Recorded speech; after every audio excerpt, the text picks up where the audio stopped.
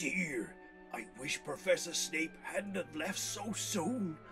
I've really urgent news to tell him. About.